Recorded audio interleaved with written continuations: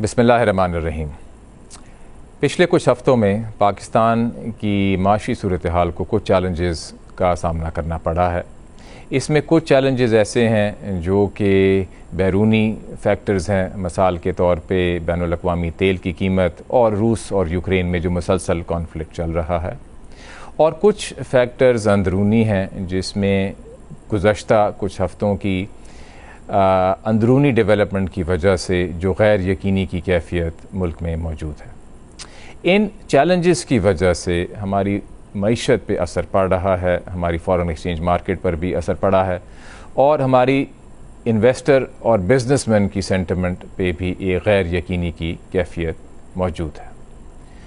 इन challenges को address करने के लिए स्टेट बैंक ऑफ़ पाकिस्तान की मॉनेटरी पॉलिसी कमेटी ने आज एक इमरजेंसी मीटिंग की।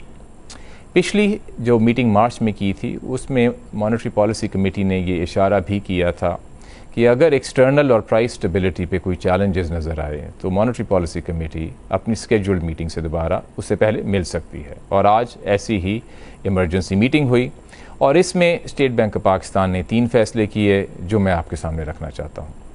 सबसे पहला फैसला मॉनेटरी पॉलिसी कमेटी का पॉलिसी रेट के मतलब था।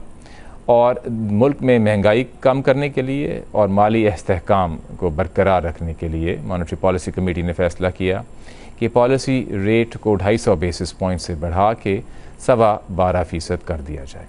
दूसरा फैसला स्टेट बैंक ऑफ़ पाकिस्तान का ये था कि मुल्क में वो इम्पोर्ट्स जो कि लग्जरी आइटम्स की हैं और फिनिश्ड गुड्स की हैं और रॉ मटेरियल्स नहीं हैं, उसमें मज़ीद कमी लाने की ज़रूरत है और जिन अशिया पे कैश मार्जन अभी लग रहा है।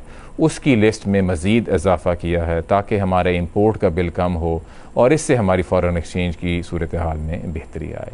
तीसरा फ़ैसला ये किया गया कि जो एक्सपोर्ट रीफाइनेंस स्कीम है, जिस पे मार्कअप रेट बहुत कम है, बनस्बत पॉलिसी रेट के तीन परसेंट है अभी, उसमें उतना ही इजाफ़ा किया जाए जितना पॉलिसी रेट में इजाफ़ा किया गया है और वो रेट अब साढ़े पाँच फ़ीसद हो गया है।